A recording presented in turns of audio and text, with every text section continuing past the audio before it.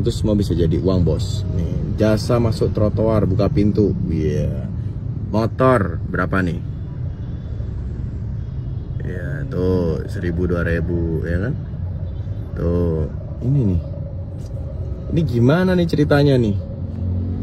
Di Jakarta ya kan? Nih persis di Tomang Grogol Fluid Senayan arah belakang MPR nih.